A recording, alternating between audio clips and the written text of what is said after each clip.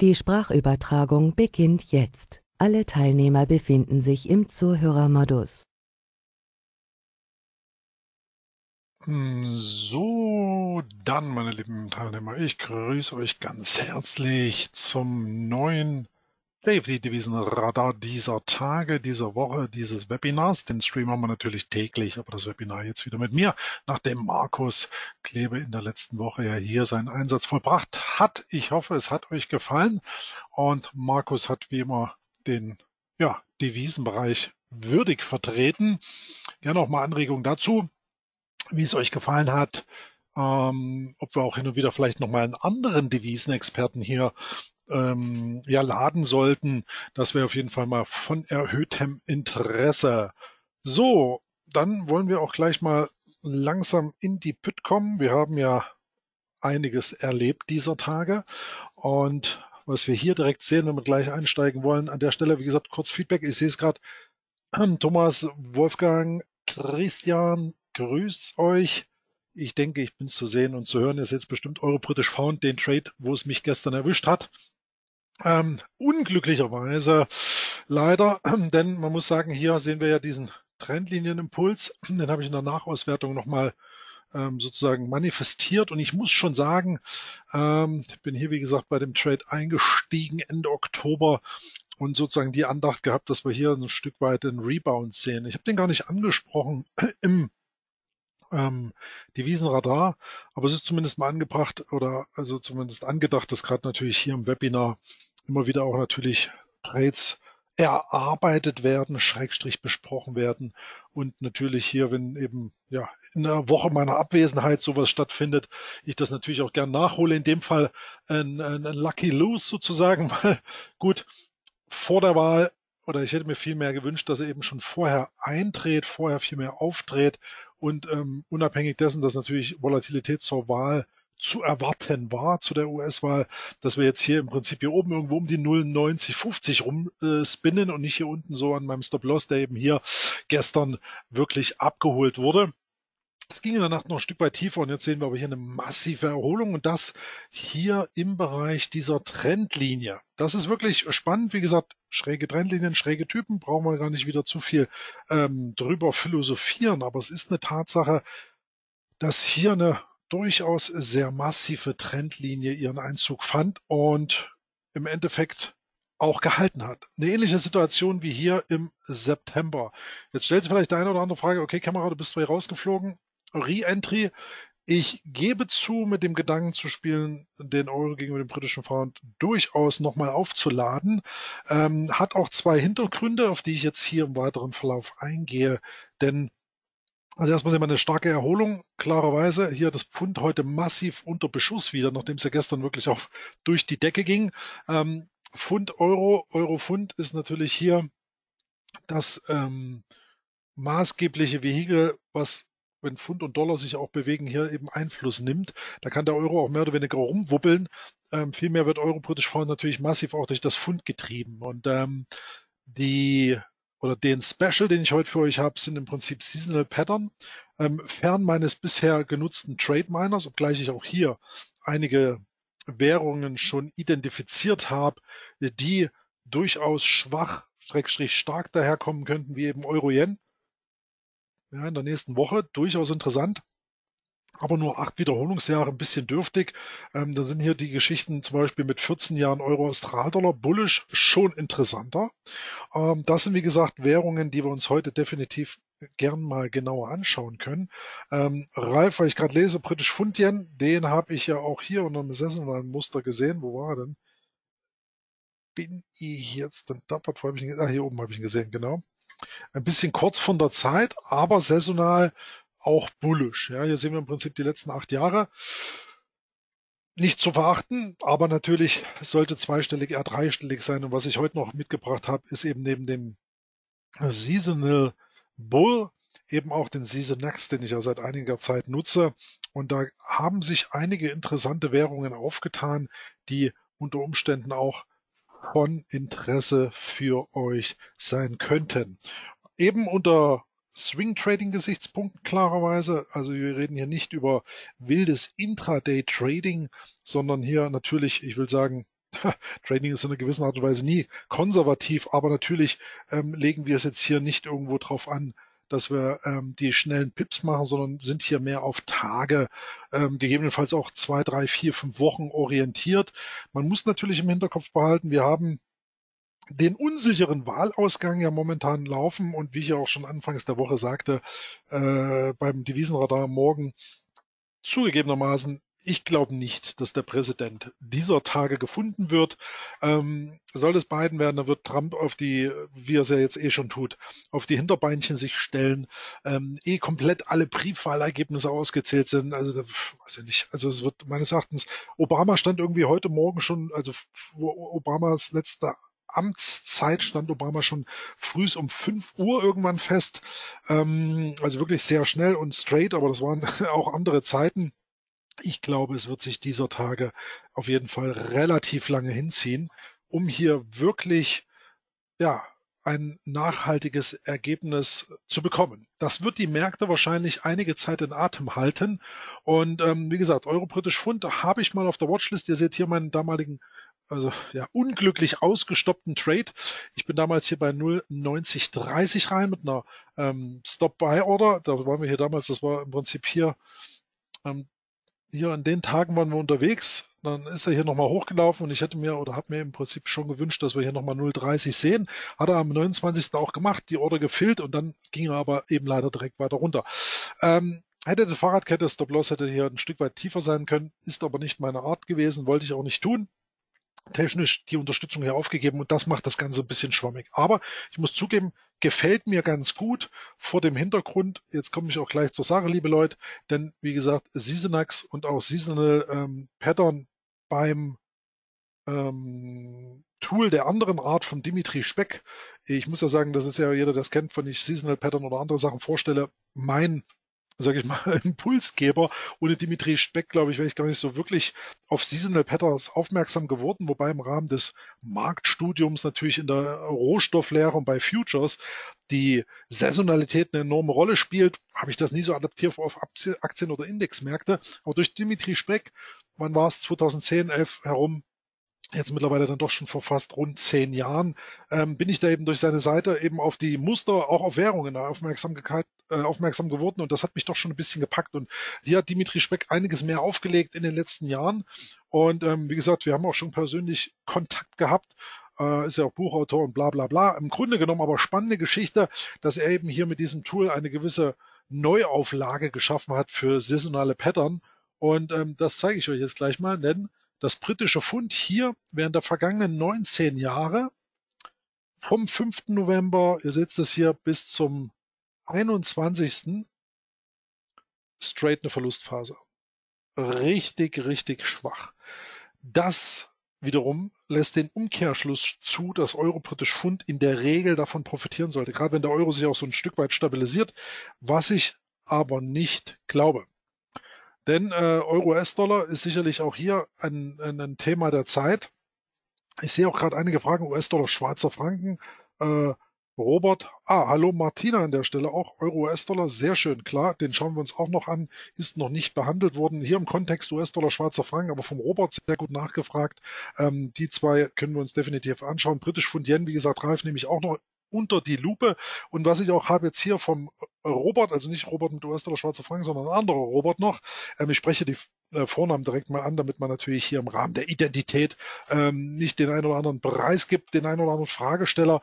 Ähm, grundsätzlich aber hier auch Australdollar, US-Dollar sehr spannend. Also ich muss zugeben und damit direkt jetzt hier zu den Charts, Euro-British Pfund haben wir diskutiert, gehen wir direkt jetzt auf Euro-US-Dollar ein, dass wir hier intakte Abwärtstrends etabliert haben. Die 1,17 ähm, also der Rücklauf zu 1,18 hier innerhalb dieses Trendkanals in jedem Fall spannend. Dieser, dieser Impuls hier hochinteressant. Äh, hätte aber, wie gesagt, bei 1,18 schon mal so ein Stück weit stoppen sollen. Spätestens hier im Bereich 1,1750 ähm, hätte der Markt eine Pause machen müssen, eine Pause machen sollen. Das hat er nicht getan. Also insofern ist die Situation auf jeden Fall die, dass wir hier mit der Aufgabe der 1,1715, 1,70 äh, ein 17 glatt hier eben das Verkaufssignal generiert hatten und ich hatte hier auch schon US, Euro-US-Dollar am Tag der Wahl im Prinzip genau dieses Szenario gezeichnet, dass es ja eigentlich entweder direkt nach unten durchklappt oder wir eben hier nochmal einen weiteren bullischen Auftakt sehen. Und wir sind jetzt hier in die Widerstandszone reingelaufen und wir sehen hier ja im Prinzip noch nicht wirklich fertig ausgebildet, aber eine Long Ledge, äh, ähm, Long Ledge Doji, so Also ein Doji, der, wenn jetzt hier der, der, der, der Close ein bisschen hoch, könnte man auch fast einen Hammer sagen, aber vielleicht spuckt er auch nochmal richtig hoch und bildet eben eine absolute Unsicherheitskerze. Sehen wir hier einfach. Ähm, wir haben schon Hochs gesehen, wir haben Tiefs gesehen. Wir sind aber trotzdem nicht so weit weg vom Eröffnungskurs. Das ist alles ein bisschen unsicher. Ähm, summa summarum, die Situation hier gegenwärtig durchaus sehr interessant für einen Short. Genau, das switche ich gleich mal auf Gold. Äh, genau wie hier auch eingeschätzt. Entweder, wie gesagt, gleich 1860 durch und wir fallen weiter. Oder eben jetzt hier in diesem Bereich ähm, der perfekte Short. Also wir haben ja hier bei 1910, das war beim Radar von vorgestern, äh, Gold hart ersichtlich. Das ist genau der Chart, den wir im Prinzip hier jetzt auch aufrufen. Ähm, genau mit dieser Idee, also direkt Short mit einem neuen Tief. Sehr interessant, dann wahrscheinlich prozyklisch weiter fallend in Richtung 1815, 1785. Ich setze hier den, das ist mein präferiertes Szenario. Gerade eben bei neuen Tiefs geht das weiter nach unten, davon gehe ich aus. Auf aktuellem Niveau aber natürlich, hm, muss man ganz klar sagen, mit einem geringen Stopp von ja, 1,5, ähm, wenn man es relativ aggressiv sieht, vielleicht sogar 1,2 Prozent, also relativ eng oberhalb von 1930 dürfte Gold nämlich ausbrechen, ist hier eine mögliche Short-Idee durchaus interessant, durchaus interessant. Und ähm, ich will jetzt nicht nochmal auf Seasonal, äh, äh, Seasonax ausweichen, aber im Prinzip wissen wir ja auch um die Saisonalität, die der Goldpreis ja generell äh, da aufwies. Das hatten wir das letzte Mal auch schon relativ ausführlich thematisiert, ähm, dass der Goldpreis hier im Prinzip eine Phase der Schwäche vor sich hat. Wir haben jetzt auch noch das Problem, gehen wir ein Stück weit mal in die fundamentale Seite, dass die Goldnachfrage auch ein Stück weit eingebrochen ist, sogar Notenbanken und auch der Schmuckhandel klarerweise wegen Corona ähm, dieses Jahr wirklich massive Umsatzrückgänge hat. Ähm, das auch aus einem wichtigen Land, nämlich wie China. Ähm, das sind einfach Maßnahmen, wo man sagt, klar, die ganzen Minen ähm, hatten natürlich auch den Lieferstopp, es gab auch wieder, ihr wisst das damals im Mai, gab es ja ein massives Spread-Ausdehnung beim Goldpreis, da gab es ja Lieferengpässe und dergleichen. Nichtsdestotrotz hat sich hier der Markt auch so ein bisschen, ich will sagen, ähm, zurückgenommen. Und wir befinden uns im Gold hier in einem sauberen, intakten Abwärtstrend und eben hier in der Chance, in der Möglichkeit, jetzt hier spekulative Short zu suchen. Man muss natürlich jetzt auch bedenken, dass natürlich jederzeit, äh, wenn Trump mal hustet, ja, oder eben dann doch die Fahne des Sieges sozusagen abgeben muss oder was auch immer passiert. Das ist eigentlich müßig drüber zu spekulieren über solche politischen Ereignisse, weil es im Prinzip auch völlig Banane ist, ob jetzt Biden oder Trump an der Macht ist. Ähm, theoretisch wird auch immer geagelt, der eine ist mehr pro, der andere kontra China und was es alles für Theorien gibt. Äh, de facto ist die USA relativ gesehen am Zenit ihres Aufstiegs die ganzen Hightech-Firmen halten es hoch, aber was China im Prinzip äh, aufgeholt hat und in den nächsten Jahrzehnten auch darbieten wird, ähm, ist praktisch für die USA ein super Desaster. Und ich glaube, das ist auch nicht mehr umzukehren. Ähm, Im Grunde genommen dahingehend der Dollar eigentlich auch in einer Phase der übergeordneten Schwäche. Da komme ich gleich zum Dollar-Index, den wir ja auch hier nach wie vor haben. Ihr kennt das Bild, liebe Teilnehmer. Ähm, wir sehen jetzt hier immer noch so ein Rum Geeire und möglicherweise kommt der Dollarindex hier doch nochmal wieder ein Stück weit höher. Äh, soll heißen, der Dollar erfährt wieder Stärke und drückt eben hier die Edelmetalle und eben auch den Euro gegenüber dem US-Dollar, wo haben wir hier wieder nach unten. Ähm, gefällt mir wirklich gut. Muss ich eben sagen, dass wir hier ein, ein Setting haben, was durchaus Charme erweckt im Rahmen einer, einer, ja, einer, einer, einer Preisbewegung nach unten. Und Euro-US-Dollar spannend, Gold noch spannender und richtig spannend, muss ich zugeben, finde ich den Australdollar. Und zwar haben wir hier nämlich auch wieder eine schöne technische Situation. Klarerweise, wir wollen gar nicht zu viel auf die Vergangenheit eingehen, äh, gab es einen riesigen Schub. Der hat auch ja hier hatte ich auch schon Short-Ideen früherer Zeiten noch drin im Chart. Ähm, die Marke von 0,70 für mich hier ein sehr, sehr interessantes Short-Level. Und schaut euch einfach auch mal wieder dieses Szenario an, weil wir gerade bei der 070 auch waren. Hier, wie gesagt, auch immer wieder interessante Short-Tendenzen eruiert. Hier immer noch der Trade drin, ähm, Bernd, mit dem Trade des Jahres beim Neuseeland-Dollar. Das war ja hier die Sommerzeit, meine ich. Ähm, spannende Entwicklung, wie gesagt, knapp am Stopp vorbei, de facto, aber hier sehr, sehr schöne Marke, sehr, sehr schöne Price-Action-Zone. Man sieht hier beim Aussie, beim Australdollar gegenüber dem US-Dollar wirklich in Perfektion die ja, Price-Action um die rundere Hausnummer herum. 0,70, ganz entscheidendes Level. Hier auch mit diesem sauberen Pullback im November. Und jetzt wird hier rumgetanzt auf dieser äh, Area, auf diesem Niveau. Ja, und das ist natürlich jetzt was, wo ich auch zuletzt schon dacht, äh, dachte, sagte, der Australdollar kann sich oberhalb von 0,70 durchaus stabilisieren, um dann sozusagen wieder ähm, ja, einen Rückenwind zu erfahren. Jetzt haben wir hier wie beim Goldpreis aber so einen sauberen Abwärtstrendkanal, der, das muss man natürlich klarerweise sagen, gestern hier nach oben aufgelöst worden ist. Und das ist natürlich auch ganz spannend an der Geschichte. Ähm, ihr wisst es vielleicht oder habt es nicht mitbekommen, ähm, dass die, was ist der Chart eigentlich aktualisiert? Äh, jetzt mal gucken, hier News, Leitzinsinfos. Schaut zum her, Zinsentscheidung. Da haben wir sie. Die australische Notenbank hat den Leitzins weiter gesenkt am 3. November.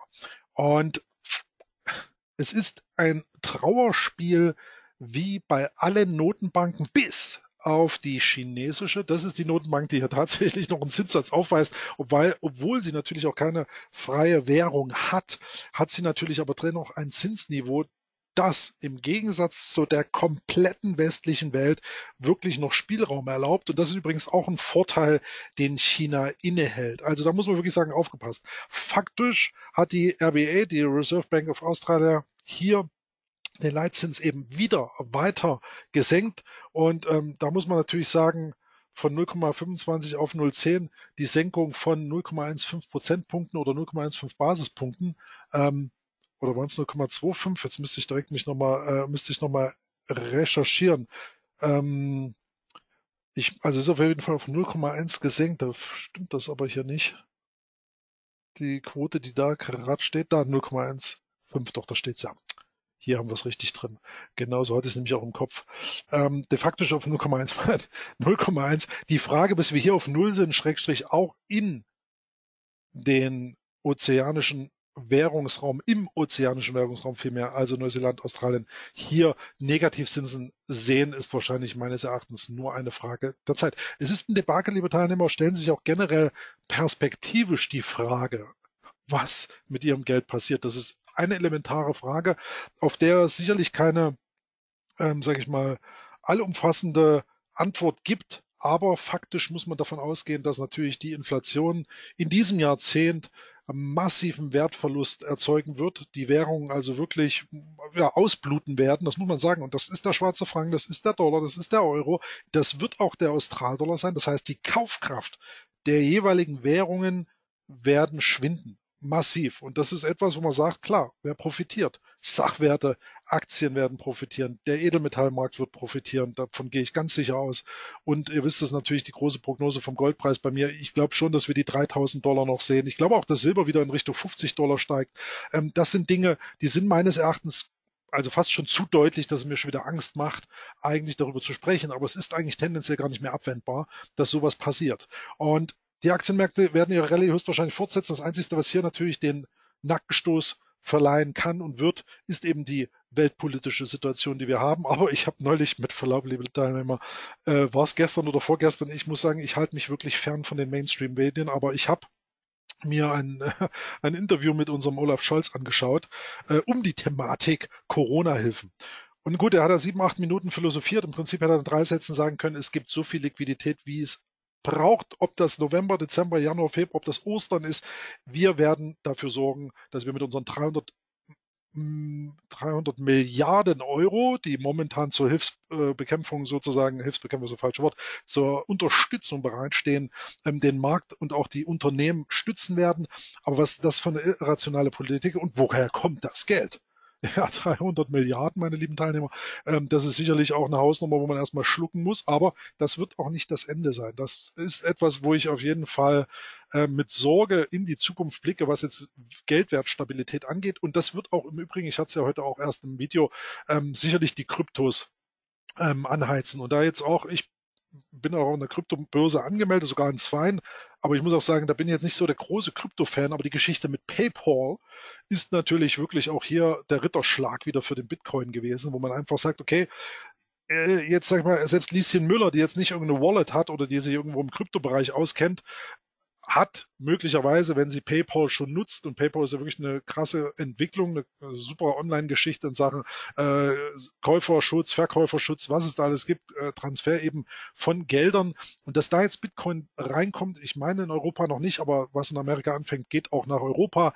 Ähm, wir müssen davon ausgehen, dass es kommen wird. Und das ist schon eine Geschichte, wo ich glaube, auch hier ähm, ist natürlich die Entwicklung eigentlich nicht mehr aufzuhalten. Und interessanterweise hier, dass es eben auch noch eine Entwicklung ist, die relativ jung ist. Ja, ich meine, aber Bitcoin, auch dir nochmal, ist natürlich eine Währung, die sehr, sehr volatil ist. Also Währung ist dafür eben das falsche Wort, weil eine Währung, die um 20 Prozent an einem Tag schwankt, da sind wir ja schon in dem Bereich der türkischen Lira und anderen, sage ich mal, ähm, ähm, ähm, Minor Pairs auf klassischer Währungsbasis gesehen, wo man einfach sagt, das ist keine, keine wirkliche Währung, weil eine Währung braucht eine gewisse Stabilität und die ähm, ist aber bei dem Bitcoin und anderen Kryptos gegenwärtig eben nicht der Fall, aber es ist ein Markt, der sicherlich interessant bleiben wird und auch seinen Weg findet, wie es heute Morgen auch schon im Radar sagte. Ähm, man muss aber, und das ist bei den Kryptos eben extra das Exorbitante, hier auch mit äh, Rückschlägen von bis zu 50 Prozent rechnen. Ja, de facto aber, wenn die ganzen Assets, die ganzen Sachwerte oder auch die digitale Währung, die Kryptos steigen, dann ist das indirekt auch nur ein Ausgleich des Wertes, was wir verlieren mit unserer Kaufkraft. Ja, das muss man ganz klar realisieren. Und das ist bedenklich und erschreckend, aber wer das Geld buchstäblich auf dem Sparbuch liegen hat oder unterm Kopfkissen, ähm, klarerweise wird er in zehn Jahren für seine jetzigen 100 Euro nur noch einen Bruchteil dessen bekommen ähm, an, an, an Kaufkraft, an Gegenwert als das, was er eben heute bekommt. Ich meine, ich habe schon drei Währungsreformen mitgemacht, irre aber wahr, und jedes Mal wurde die Währung halbiert. Das ist echt erschreckend. Das ist einfach was, was ich mir immer wieder in den Kopf rufe, wo ich sage, äh, ich glaube auch, das ist nicht die letzte Währungsreform und dass über dem digitalen Euro schon entschieden wurde, das wurde ja Anfang Oktober auch von der EZB schon laut. Ähm, die Schublade des digitalen Euros wurde geöffnet. Im Prinzip ist es nicht mehr die Frage, ähm, ob es kommt, sondern nur noch die Frage, wann. In China, ich hatte es auch schon angedeutet, läuft schon seit Anfang des Jahres, als hätten sie es passend zur Corona-Pandemie aufsetzen wollen, in verschiedenen, ich nenne es mal Bezirken oder Bundesstaaten vergleichbar, ähm, den Renminbi auf rein digitaler Basis eingeführt und das wird in Europa kommen, das wird genauso in den USA kommen. AD, das Papiergeld und es lebe die digitale Währung. Und ob das nun der E-Euro wird also, oder, oder der Krypto-Euro oder wie wir es auch nennen, am Ende ist es ein unvermeidbarer Lauf der Dinge die Einzug halten werden. Und somit muss ich jetzt mal langsam das Wort des Mittwochs schließen. Ähm, bin jetzt irgendwie darauf gekommen, dass natürlich die Währungen per se ähm, auch ihre Zykliken haben. Und gerade wenn wir jetzt von so saisonalen Pattern sprechen oder einer Dollarstärke, Schwäche, dann haben wir hier am Währungsmarkt natürlich immer die interessante Konstellation, dass wir über ein Währungspaar sprechen. Das heißt, wir haben hier immer die zwei Seiten, okay? Das heißt, wir haben äh, die Basiswährung, die Zielwährung. Und diese beiden das Währungspaar haben eben das Preisverhältnis. Ja, zum Beispiel hier eben britisch Pfund in US-Dollar. Ja, Basiswährung, Zielwährung. Und da ist natürlich immer die Frage, welche von beiden Währungen muss man ja fast schon ähm, ähm, ähm, entzückt so sagen, ist denn hier nun die schwächere? Also es ist wirklich, eigentlich ist es bedauerlich, ähm, aber das Pfund ja auch, also klassisch das Sterling ist ja auch eine der ältesten Währungen im 12. Jahrhundert gab es schon das Sterling, also hatte sozusagen hier die, die, das, das, das British Empire damals noch gar nicht äh, in diesen Zügen nach äh, ihrer geschichtlichen Entwicklung ähm, wie jetzt eben Europa entwickelt oder andere Staaten, sondern da eben wirklich schon weiter. Und das Sterling war ja hier, äh, Pfund Sterling tatsächlich äh, geschichtlich schon so verankert, dass es das äh, eine der ältesten Währungen der Welt ist, wobei natürlich hier auch äh, Währungsreformen noch und nöcher stattfinden, äh, Schrägstrich eben auch Währungsumbenennungen. Und man muss jetzt feststellen, dass der Dollar an sich ja die älteste Fiat-Währung ist, die es ja gibt. Also wir haben ja die 100 Jahre, wann war es denn vor? Ah, jetzt spielt mir mein Gedächtnis einen Streich auf jeden Fall. Ähm, ach klar, 2000, äh, 1913 der Dollar eingeführt. Also vor sieben Jahren hatten wir 100-jähriges Jubiläum der Papiergeldwährung ähm, des Dollars, also ohne fundamentale ähm, Sicherungseinlagen in Form von Gold oder anderen Dingen. Und das ist natürlich eine Geschichte, wo man sagt, puh, einige äh, Währungen der Welt hat schon so lange so virtuell bestanden oder ihren Bestand gefeiert, wie jetzt eben der Dollar. Und ja, der Dollar ist kaufkrafttechnisch in einem absoluten Strudel. Aber die Frage ist, das Pfund jetzt besser gesegnet oder gestellt als der Dollar? Das wird die Gretchenfrage sein. Und ich denke, Momentan kurzfristig könnte es sozusagen pro Dollar sein. Ja, das zeigen die Charts, wenn ich mir den Goldpreis anschaue. Jetzt muss ich hier direkt nochmal reingehen. Das zeigt mir aber auch hier der Australdollar, US-Dollar. Da bin ich ja gerade hängen geblieben. Auch als nächstes Währungspaar, den ich ja auch spannend finde im Rahmen der Marke von 0,70 und dem Abprall. Ähm, denn wir haben hier beim Aussie im Prinzip ähnlich wie beim britischen Pfund äh, hier diese saisonale Schwäche jetzt im November. Und mit der heutigen Erholung ähm, ist das hier auf jeden Fall ein schönes Cluster. Also faktisch sind wir natürlich über diese Abwärtstrendlinie des Abwärtstrendkanals ausgebrochen gestern. Ähm, hier ähnlich jetzt wie beim Gold und beim, beim Sil äh, Gold und Silber, Silber kommen wir auch noch gleich zu, aber ähnlich wie beim Gold und beim Euro-Dollar. Jetzt hier so eine Art Long Ledge Doji, ist aber eine reine Unsicherheitskerze und aggressiv im Rahmen der Saisonalität. Übrigens, diese fängt auch erst am 5. an. Ja, hier ist der 5. November. Da sieht man sogar hier noch so einen kleinen Dip. Gehen wir mal auf die 20 Jahre. Fulltime. Ändert sich nicht viel vom Graphen her. Und man sieht ja so einen kleinen Dip. Also der perfekte Zeitpunkt, wenn ich den Chart mal so sehe, jetzt switchen wir das mal um. Warte mal, anders. So. Also das Tief ist eigentlich hier. Man muss ganz kurz sehen. 21. November exakt und hier der Einstieg 7. November. Also das wäre so saisonal eigentlich wirklich hier die, die, die, die, die, ja, die perfekte Session, um hier einzusteigen. Also lass dem vielleicht noch so ein Stück weit, ähm, ja, wie will man sagen, ein Stück weit Zeit, um hier vielleicht auch einen Fake-Ausbruch auf der Oberseite zu generieren. Ihr habt es hier damals auch mal einen Tendenzfall gehabt oder gesehen.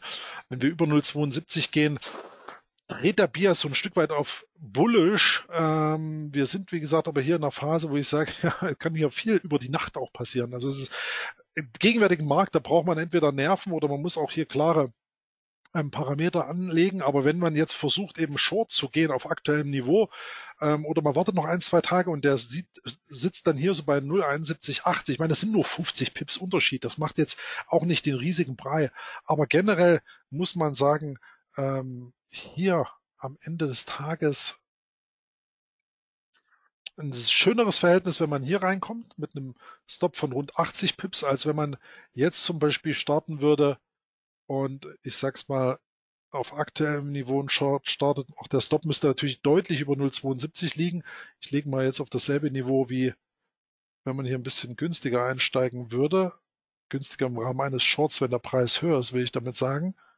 Und dann haben wir hier im Prinzip sozusagen hier die Verhältnisse äh, bis 21. November. Das geht sozusagen dann auch ja bis hier jetzt, wo wir das Fadenkreuz haben, etwa hin. Ist natürlich jetzt dann auch die Frage, wie viel Pips hier nach unten aufgerissen werden, beziehungsweise wie viel Minusprozente. Und im Schnitt können wir mal hier auf den Australdollar jetzt gerade schauen. Median Return Average minus 1,4 im Schnitt. Das ist jetzt auch nicht die Riesenwelt, ja, aber bei Devisen müsst ihr natürlich wissen, haben wir natürlich ja nicht wie bei den Kryptos Ausschläge im 25 äh, Prozent Bereich, sondern das ist alles eher übersichtlich, aber zumindest ist ja saisonal ähm, der Lauf in Richtung 1,4 Prozent im Durchschnitt mal zu erwarten.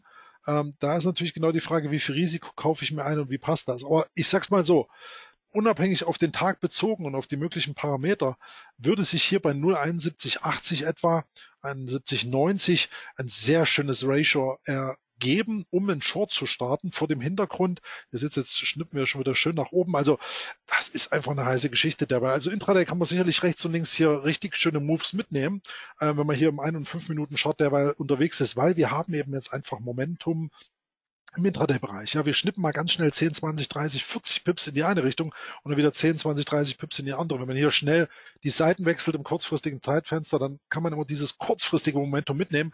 Aber auf Tagesbasis sehen wir hier auch sehr deutlich, dass wir eigentlich seit ähm, Mitte September so ein Stück weit im Seitwärtsgeschiebe sind 0,70 klarer Support, 0,72 10, 072, 30 hier oben der Widerstand. Und deswegen, wenn wir hier hochlaufen, das machen wir jetzt mal direkt konkret, dann glaube ich auch unter der saisonalen Brille wirkt ein Short sehr interessant. So. Ja, kann jetzt hier auch in Richtung 07230 nochmal hochlaufen, aber dann sollte er hier wieder nach unten gehen. Und der Witz ist, wenn er diese obere Trendlinie jetzt auch unter technischen Strukturen ähm, wieder einreißt, also wenn jetzt wirklich hier nochmal hochgehen sollte oder auch morgen hochgeht und dann aber nach unten abdriftet, dann kann das hier auf jeden Fall dazu führen, dass wir die 0,70 durchschlagen und dass wir eben einen richtig starken Abwärtsmove bekommen. Ergo im Umkehrschluss wieder der Dollar kurzfristigen Zuspruch erfährt. Und das ist natürlich schon meine, ich will es mal sagen, ja, präferierte Variante, mein Schwerpunkt ein Stück weit die, ja, die, die, die, die Ausrichtung, die ich jetzt präferiere, dass wir mit Sicht auf den November wahrscheinlich auch in den Dezember rein, wenn es denn so kommen soll, eine gewisse Dollarstärke sehen. Ja, das heißt hier gerade auf diesen, ich sag's mal, Wochenchart im Dollarmodus ähm, haben wir jetzt eben ein Stück weit Unsicherheit und Seitwärtsphasen gesehen. Jetzt zieht man, schaut mal ein bisschen höher hier, zacki, zacki, so. Ja, dass wir hier genau in diesem Szenario noch sind und der Erholungsmodus, ich will es mal ein bisschen, also das ist die Kerze übrigens von gestern. Ähm, das ist hier mal auf Tagesbasis erst aktualisiert. Heute dürfte die Kerze wieder komplett weiße nach oben gehen. Ähm, ich denke, wir sind hier in diesem Bereich schon noch unterwegs, dass der noch ein Stück weit hochspuckt. Vielleicht nimmt er auch das Hoch hier vom Sommer, vom, das war der September, hier am 27. Also Ausklang ähm, September vielmehr, hier diese Momentumkerze. Vielleicht nimmt er auch das Hoch nochmal raus, ja. Wenn ich hier technisch mal so ein Stück weit in den Mikrobereich gehe, finde ich das eigentlich ganz spannend, dass wir hier dann sozusagen den Bereich, ziehen wir es direkt mal rüber, im Dollar-Index. Könnt jetzt auch so ein Korridorband nehmen. Ich nehme jetzt mal hier so eine dünne Trendlinie. Einfach mal zu gucken hier, da können wir nämlich das Tief hier, das ist eigentlich ganz spannend, hier das Tief dieses Sell-Offs Anfang des Jahres. Ähm, hier fehlt es ein bisschen, das ist schade, deswegen kann ich das eigentlich gleich mal hochziehen, aber dass wir hier sozusagen nochmal ein Stück weit drüber spucken. Ja, ja, nochmal so einen Dip nach oben machen.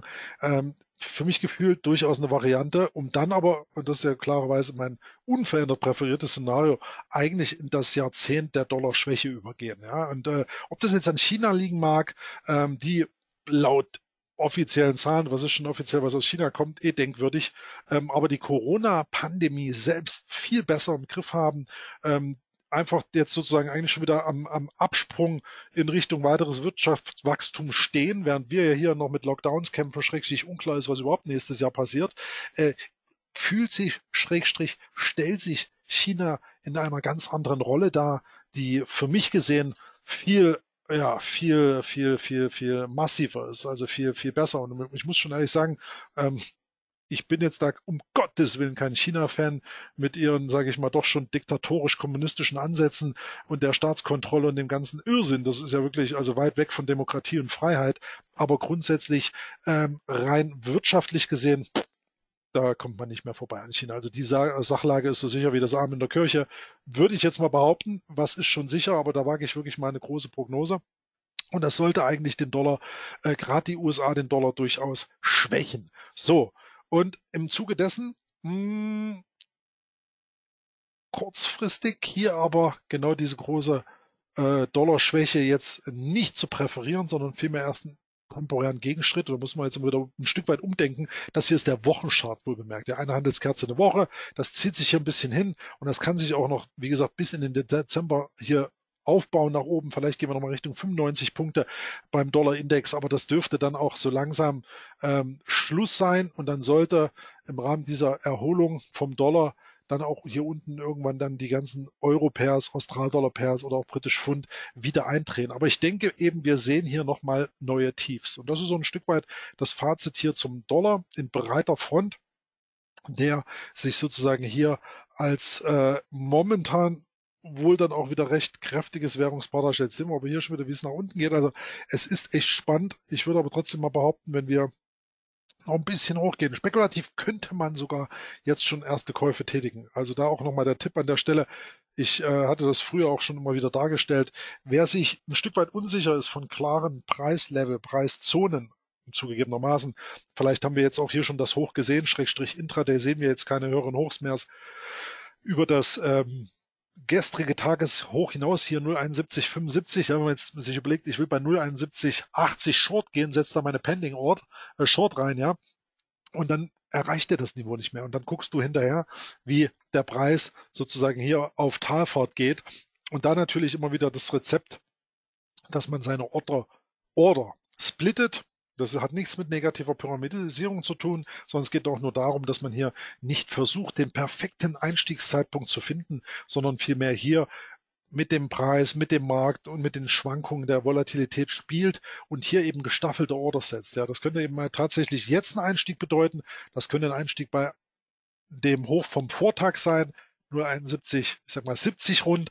Und dann könnte man auch nochmal einen Einstieg feiern bei 0,7215 Schrägstrich wäre es ganz crazy Mark hier bei 0,7240 vielleicht 0,7230, dass man hier sozusagen zwei, drei äh, Pending Orders reinsetzt, dann aber immer wieder in dem Kontext kleinerer Positionssizes, weil am Ende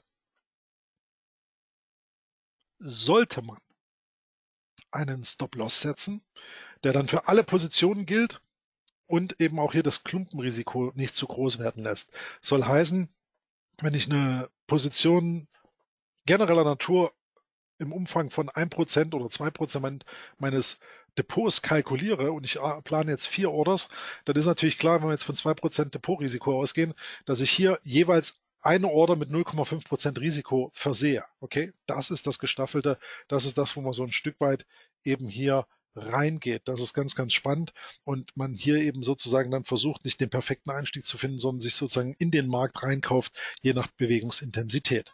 So, jetzt habe ich mich aber wieder relativ lang aufgehalten. Sorry für die, ähm, sage ich mal, vielleicht zu ausführliche ähm, Ausdehnung der ein oder anderen Umkehrbewegung, aber man muss es natürlich ansprechen. Britisch Pfund US-Dollar wurde noch geäußert. Hier können wir auch mal direkt mal in den Seasonex schauen. Wie gesagt, der Australdollar US-Dollar ist spannend. Britisch Pfund US-Dollar eher auch schwach unter der äh, Thematik. Und jetzt gehen wir mal auf das britische Pfund Yen. Äh, Search Instruments, da wollte ich jetzt hin. So. Da haben wir. Ändert sich das Bild jetzt mal gar nicht so massiv. Ne? Also auch hier bärisches Geschmäckler und was wir hier auch haben, Katjen, den habe ich mir vorher schon rausgesucht, ähm, kann man auch hier ein bisschen verkürzen. Es gibt zwar noch ein tieferes Tief hier zum 20. November, aber natürlich auch hier ah, massive Schwäche. Also einfach Katjen haben wir hier.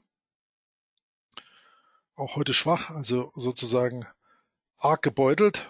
Generell aber hier ein schöner Aufwärtstrend intakt. Zuletzt auch hier schön getestet. Spannend. Aber es deutet sich eine weitere Schwäche an.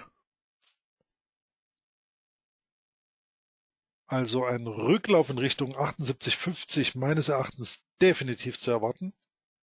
Und hier in diesem Bereich könnte es dann spannend werden, weil wenn er die Tiefs hier oder das Tief vom 29.10. oder auch die Marke schon von 78,30 aufgibt, inklusive der schrägen Trendlinie, da haben wir sie wieder, ähm, sollte dann auf jeden Fall auch weiter relativ schnell Druck aufkommen können und dann ist die Marke von 77 Yen oder 76, 80, 76, 70 schneller als man denkt erreichbar. Also Cut Yen, auch saisonal, wie gesagt, schönes Short Setup.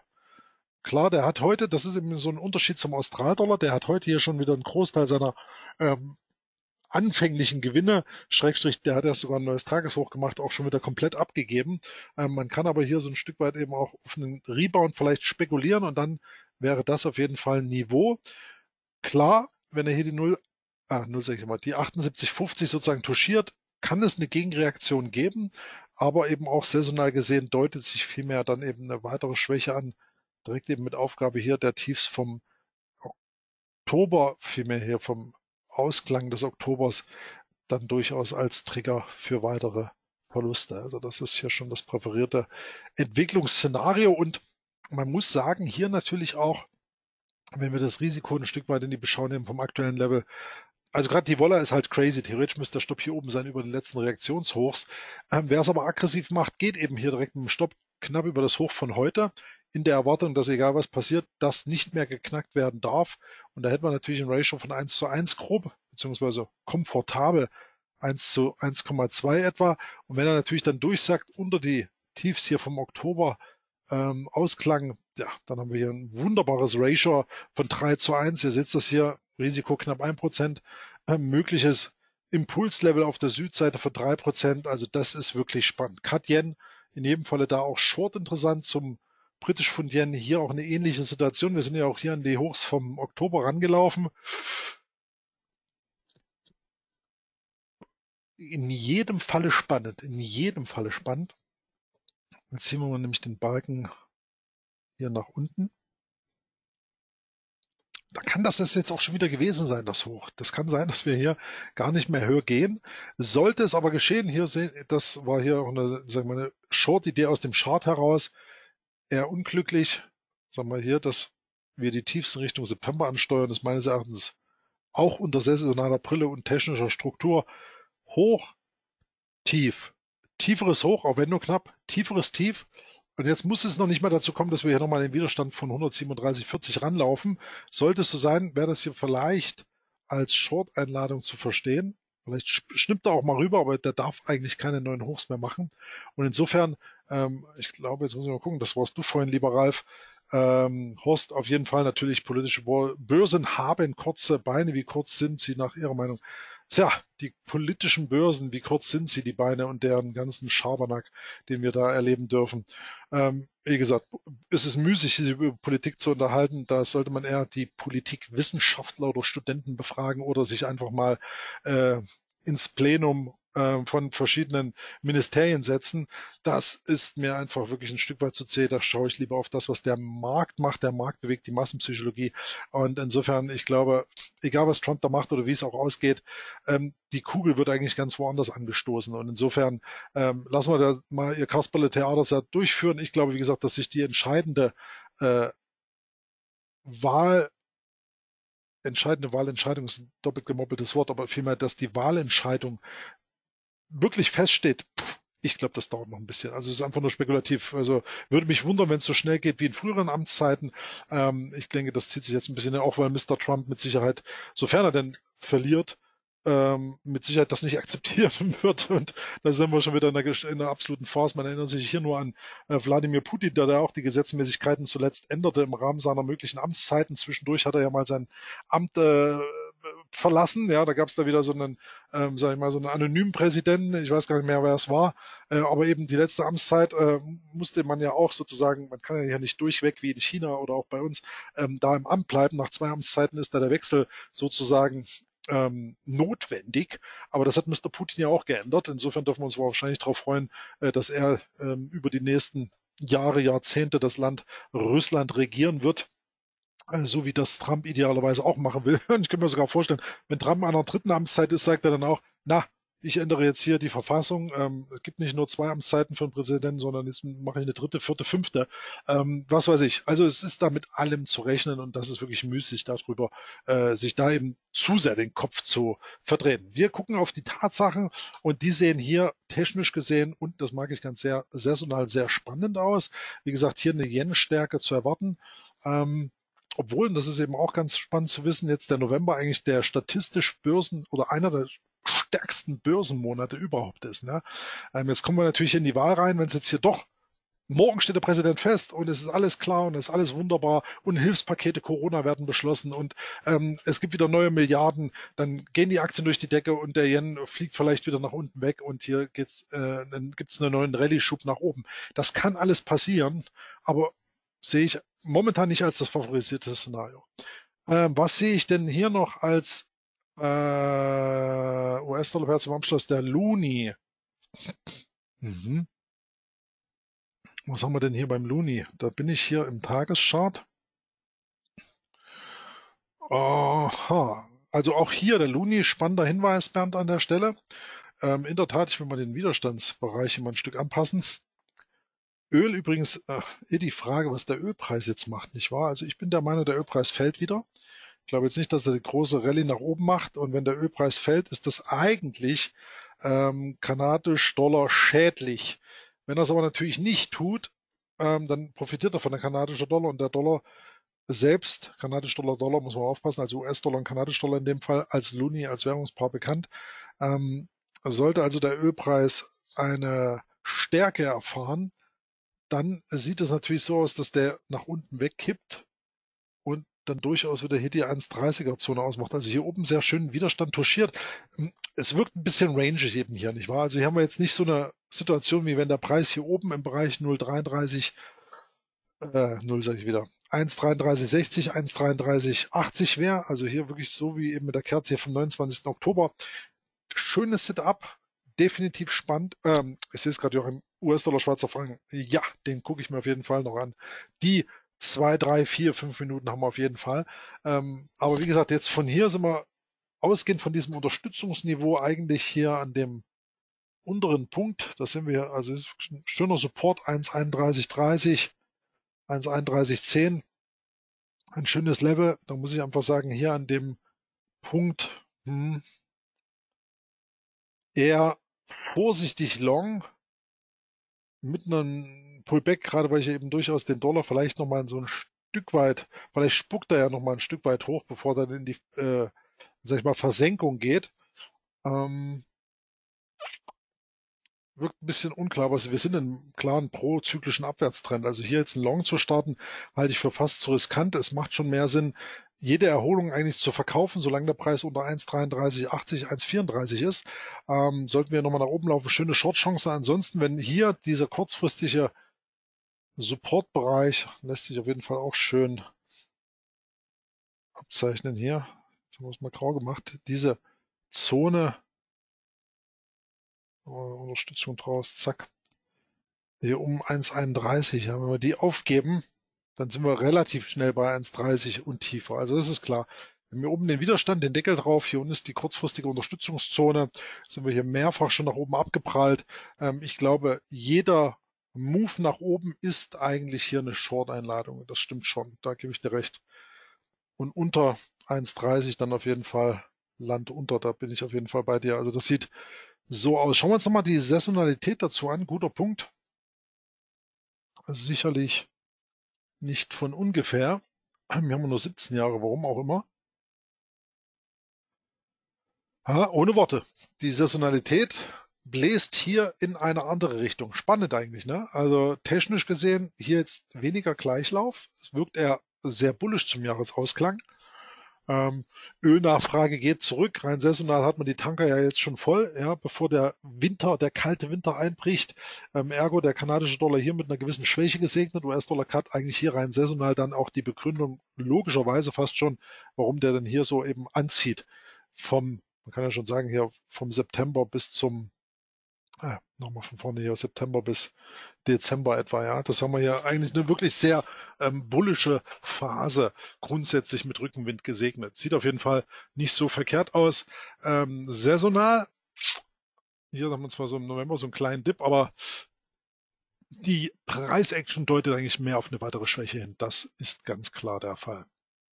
Also Favorit favorisiert auch hier, gerade auch in dem großen Bild vom Dollar-Index, dass wenn wir uns jetzt so ein bisschen erholen sollten die nächsten Tage, vielleicht auch ein, zwei Wochen, glaube ich aber noch nicht mal, dass es so lange dauert und dann gehen wir aber sicherlich nach unten. Also zumindest das mal das präferierte Szenario. Ähm, übrigens heute hier ganz interessant, wir waren heute 2000 Anmeldungen beim Devisenradar super, super, super. Devisenradar hier früh ist übrigens auch auf dem Godmode Trader zu sehen, auch knapp 1600 schon. Also super ähm, ähm, ähm, Teilnahme. Sage ich erstmal vielen Dank für die Treue an der Stelle und dass wir hier die Hütte weiter voll machen und auch weiter wachsen. Natürlich. Wobei das natürlich ähm, part of the game from Godmode ist. Aber da bin ich ja auch äh, in früheren Jahren ähm, groß geworden in diesem Bereich Börse Go, München, äh, Harry Weigand und André Titja und Rocco Gräfe und die ganze Gang. Ähm, das ist natürlich irre wichtig und schön, diesen Kontakt auch erfahren zu haben, beziehungsweise wir haben ja heute noch engen Kontakt, mehr oder weniger. Jetzt wollen wir aber auf US-Dollar Schweizer Franken gehen, der natürlich auch so ein bisschen rumwuppert. Sieht technisch auf jeden Fall keineswegs so interessant aus wie jetzt zum Beispiel der ähm, Dollar, finde ich jetzt, ja, oder der Australdollar, die wirken für mich beide viel, viel interessanter. Ähm, ich sehe gerade im Chat, Silber wollte ich auch noch machen. ja, stimmt eigentlich. Äh, mit Verlaub, Silber hatte ich eigentlich wirklich noch auf der Pfanne, äh, beziehungsweise als Andacht. Ah, ja, mal gucken, ob ich das jetzt noch reinschiebe auf die letzten Minuten. Äh, faktisch aber hier US-Dollar, Schweizer Franken. Ähm, wenn es ist wieder die Korrelation, die hier wieder sehr deutlich wird. Und ich glaube auch, Euro sollte er in die Schwäche übergehen. Jetzt sind wir schon wieder unter 1,17, sehe ich gerade hier. Ähm, und US-Dollar, Schweizer Franken dürfte davon profitieren. Ich glaube, wir werden, werten hier eher auf und gehen in Richtung dieser Zone hier der letzten Hochs vom September. Also kurzfristig glaube ich, dass der ähm, hier nach oben ziehen kann. US-Dollar, Schweizer Franken hier die Hochs vom September nochmal antestet, um dann hier so ein Stück weit, ja, ich will sagen, in eine Ermüdungsphase zu treten und dann nach unten abzurauschen. Dann haben wir auch im Prinzip da auch wieder die von mir präferierte Dollarschwäche. Das war eine schöne Zone hier ich meine, hier ist er komplett durchgesegelt hier im Juli, aber hier tief im März, also zum Corona-Ausverkauf, dann hier schöner Pullback. Jetzt Rücklauf, wenn wir hier nochmal so ein kleines Doppeltop bauen, ähm, technisch gesehen auf jeden Fall spannend und meines Erachtens auch natürlich, wenn jetzt äh, Euro noch ein bisschen hochspucken sollte, was man hier unterstellen könnte, ähm, wäre es auf jeden Fall spannend, hier den Short einzusammeln. Aber ob der wirklich nochmal in Richtung 0,9250 zieht, ich glaube es fast nicht. Also ich denke, der macht früher die, die Binse nach unten und ähm, dürfte hier eben eine Dollarschwäche erfahren. Aber ja, es ist so gesehen eigentlich gerade jetzt Euro, wenn der Euro nochmal die 1,1540 wirklich ansteuert, 1,1450 vielleicht, das wäre das große Beilevel. Jetzt muss ich direkt nochmal groß den Euro-Dollar-Chart für euch reinholen. Also dann ist es nicht so unwahrscheinlich, dass wir hier nochmal in Richtung 0,9250 gehen. Es würde eigentlich schon gut ins Bild passen, will ich mal sagen. Lass uns nochmal hier die Saisonalität kurz anschauen. US-Dollar, Schweizer Franken, bevor ich den, ähm, ach, Tastatur lässt grüßen, bevor ich den großen Chart nochmal hole. Na, wenig spannend eigentlich, ne? Schaut euch das an. Das ist ja hier wildes Seitwärtsgeschiebe, nicht ganz so deutlich wie bei anderen Währungen. Das ist auch immer spannend, dass da die Saisonalität durchaus unterschiedliche Tendenzen einschlagen kann. Ähm, hier eher seitwärts C mit einer Schwäche zum Jahresausklang. Das ist sehr offensichtlich. Aber ansonsten da saisonal kein Rückenwind. Aber was wir natürlich hier haben, ist jetzt hier nochmal der große Chart vom Euro-Dollar sozusagen mein Lieblingschart irgendwie, den äh, zeichne ich ja schon seit ich dieses Chart-Tool benutze. Und hier nochmal so das Schmankel, ich hatte auch hier früher die Harmony-Pattern sehr viel gemacht. Ähm, das wäre so mein Traum-Entry gewesen, Euro-Dollar im Bereich der Parität einsammeln. Hm. Ich glaube fast nicht, dass das kommt. Ähm, ich denke eher, der Euro, und das ist auch wieder die Sache der schrägen Trendlinie, Schatz, hier habe ich die Trendlinie ein bisschen anders angelegt als in diesem großen Monatschart-Zeitfenster. Hier habe ich einfach die meisten Auflagepunkte gesucht und die Linie eben projiziert zum Trendkanal. Und hier ist eben die Situation, ich bleibe dabei, der Dollar ist im Jahrzehnt der Abwertung, was haben wir jetzt schon wieder, 1,1707. Meine Fresse, was schnippt denn der rum? Ganz, äh, verzeiht den Ausdruck. Ähm, wir sind aber jetzt hier schon wieder, oh, Wahnsinn.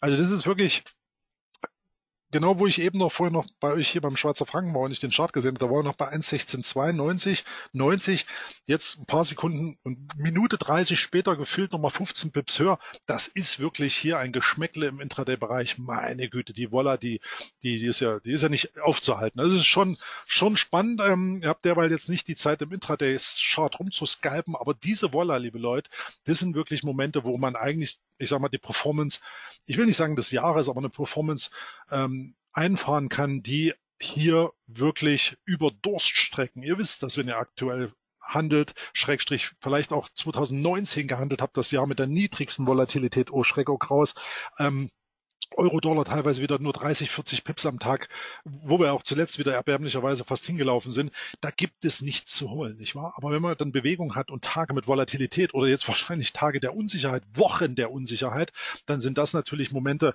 wo man hier A beim richtigen Broker ausführen sollte und B natürlich den Markt auch im Auge haben muss, weil sich hier natürlich kurzfristig wirklich immer schnelle Gewinnchancen ergeben. Nur passt bitte auf, wenn ihr hier rumskalbt und immer wieder oben und unten versucht, Long und Short ein bisschen hatchen vielleicht, dass man da am Ende des Tages, wenn dann eine Trendbewegung mal eingeschlagen ist, und da will ich jetzt hier gleich mal auf, eben jetzt, weil ich den Chart gerade vor mir habe, US-Dollar, Schweizer Franken, ja, wer hier diese Range getradet hat, übrigens auch sehr spannend zu sehen, wenn ich mir, wir müssen das jetzt mal hier, machen wir das mal mit dieser Abwärtstrendlinie am besten, so. Ah, wir haben hier so eine Art Dreieckskonstellation bekommen. Ja, hier mit, den, mit der Price Action. Also es hat sich immer mehr zusammengezogen hier im ähm, Frühjahr, also nach dem Corona-Crash, schöner Ausbruch. Dann hat sich der Preis hier sozusagen, äh, ist jetzt ein bisschen lapidar gezeichnet, aber ihr wisst, worauf ich hinaus will. Der Preis hat sich dann hier sozusagen immer mehr zusammengezogen äh, in eine Kontraktion hinein. Und hier hat man auch immer wieder rechts und links, oben und unten immer wieder Long, Short und die Seiten wechseln können.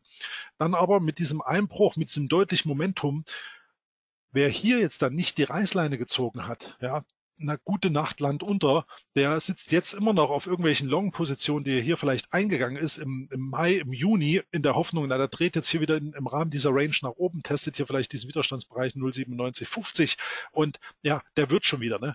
Dann, dann gab es hier mit der ganz groben Kelle im Sommerverlauf und jetzt eiert er hier rum und ganz ehrlich, technisch, okay, der geht vielleicht bis 0,9250, gut vorstellbar, schöne Short-Chance dann, aber dann dreht er im Prinzip ein und kippt wieder massiv nach unten ab und dann sitzt du hier mit den Longs weiter da, ähm, musst hier die Swaps möglicherweise zahlen, ähm, also Finanzierungsgebühren, Rollovers und am Ende des Tages geht der Trade rein unter PIP-Gesichtspunkten immer mehr gegen dich und äh, sozusagen äh, raucht das Konto auf. Das kann nicht zielführend sein. Deswegen immer wieder das Risiko kalkulieren. Ja?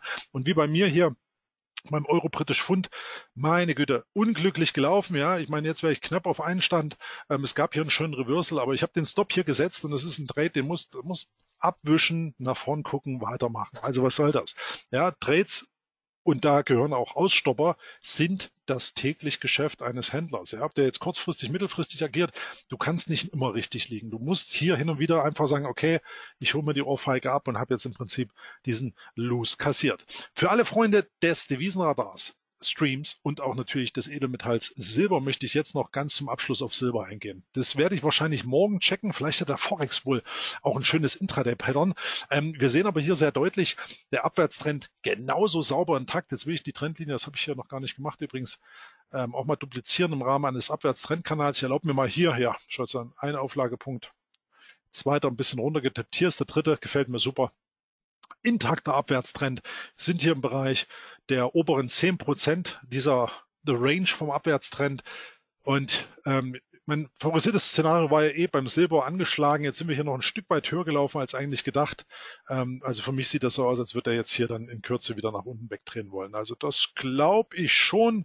Und für alle die, die jetzt hier dabei sind, das ist natürlich das Gimmick, was man hin und wieder ähm, geben kann, neben den anderen Paaren, wo wir jetzt hier Querfeldbeet eingemacht haben und ein bisschen auch abgesch oder ich vielmehr ein bisschen ähm, abgewichen bin im Rahmen der ein oder anderen Erklärung zum Markt. Ähm, hier ist Silber jetzt definitiv auch short interessant. Komplett, und das ist wieder das von, wovor ich vorher sprach, komplett negieren, wenn wir hier über die 25 20 über die Hochs, hier gab es ja diesen Evening Star Candlestick Formation, herrlich, hat sich aber auch bärisch nicht durchgesetzt, muss man sagen. Ähm, hatte ich erst gestern, vorgestern ein Gespräch, Bernd, nicht wahr, wo wir darüber gesprochen haben, ab wie viel Perioden wird ein Signal denn eigentlich hinfällig?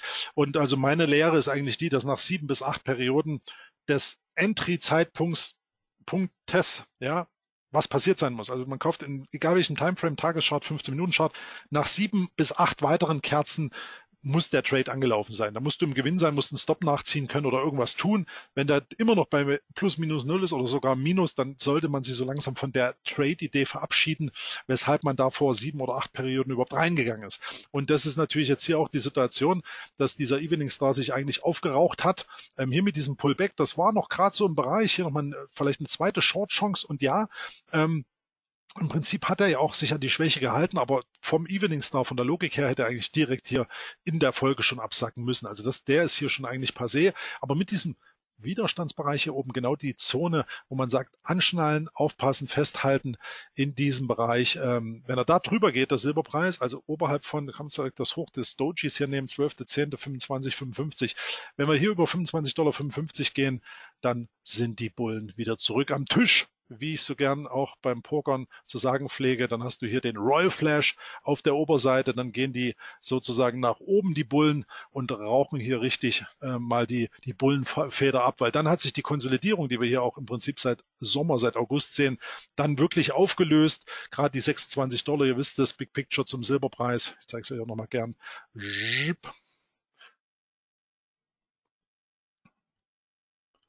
So, 26 Dollar, hier ist das Key-Level. Also wenn wir da wirklich wieder rübergehen sollten und uns dann auch auf Wochen- und Monatsschlussbasis da nochmal etablieren, dann sind die 30 Dollar und 35 Dollar und vielleicht noch mehr definitiv näher, als sie es jetzt sind. Weil jetzt kann Silber durchaus auch noch mal ein Stück weit zurücksacken. Hier noch kleiner Gimmick an der Stelle. Zwischen 21 Dollar und 22 schöne Kaufzone. Also wenn der Silberpreis wirklich hier zurückgeht, spannend, wie ich zu sagen pflege. In dem Sinne, liebe Leute, bin ich dann doch schon durch. Heute wieder die gute Stunde abgerissen beim Devisenradar. Ich freue mich auf jeden Fall, dass ihr so zahlreich am Start war. Volles Haus. Freut mich auf jeden Fall. Ich hoffe, es hat euch gefallen. Gebt gern Feedback zum Kundensupport nach dem Motto, mehr vom Kamera hat mir gefallen. Ansonsten, wenn ihr Verbesserungswünsche habt, immer gern. Und ansonsten wünsche ich euch jetzt Happy Trading, viel Erfolg beim Handel. Passt auf alles auf, was vor euch liegt auf die Gesundheit, achtet eure Freunde und Familie und nutzt die Zeit, auch wenn ihr im Lockdown seid, zur stetigen Weiterentwicklung. Das ist immer wichtig. Also in dem Zusammenhang, bis bald. Euer Chris sagt jetzt erstmal Tschüss und mit wem ihr handeln solltet, das wisst ihr auch. JFD Bank ist hier eure Bank. In dem Zusammenhang auf bald, beste Grüße und Tschüss.